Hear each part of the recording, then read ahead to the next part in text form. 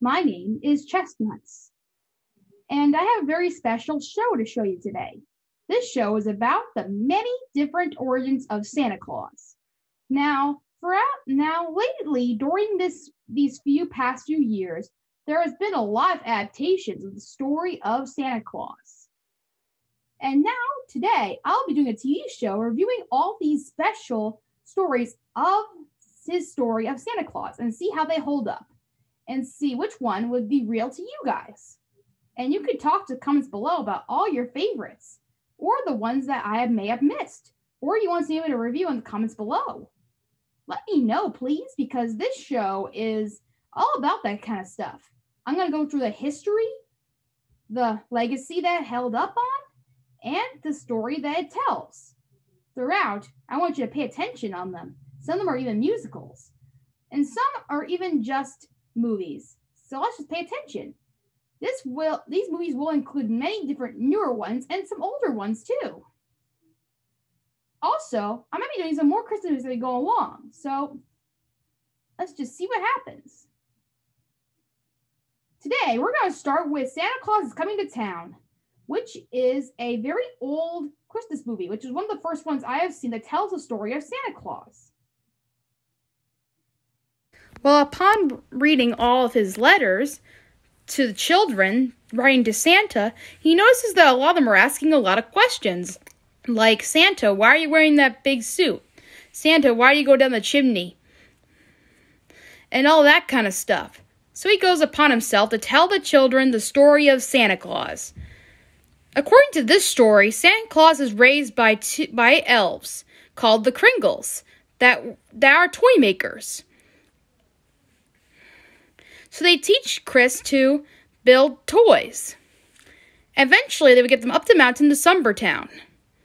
Eventually, when Chris grew up, he was able to bring them to Sombertown.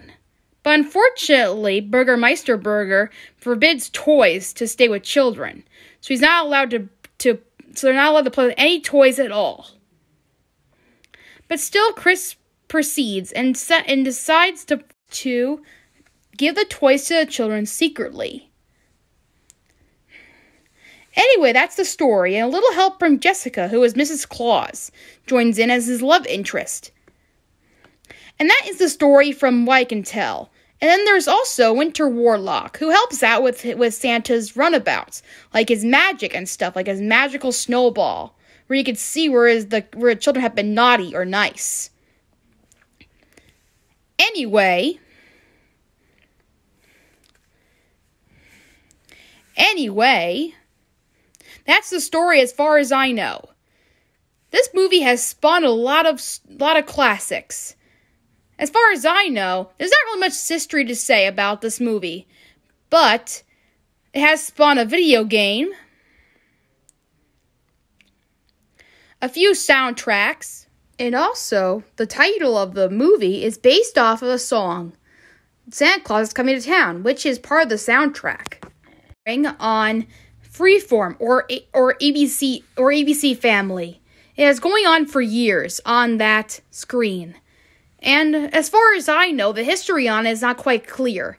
As far as I know, it was during the golden age of of Rankin Bass when they were making all their great movies. During this time, they made movies such as Rudolph the Red-Nosed Reindeer was their first one.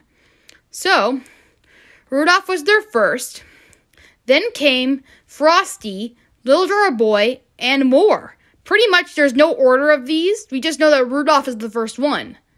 So this spawned off to make this movie, featuring Mickey Rooney as Frost as as Santa Claus. Mickey Rooney has been voicing Santa Claus for quite some time for many specials, including this one. As far as I know, that is the legacy of this movie. There is not much to say. Of course, it has collections of many different DVDs you can get this on. So I recommend you go and watch this movie for yourself. It is really an enjoyment to watch, and it really is good for your kids to watch too. It is really a classic and good to watch for any Santa Claus origin story. It is really the best one I know about. And we'll start on more of these soon, and I'll see you next time on more of these. I'm sorry there's not much of a history on this one, but it's very rare. As far as it, this is a stop motion movie.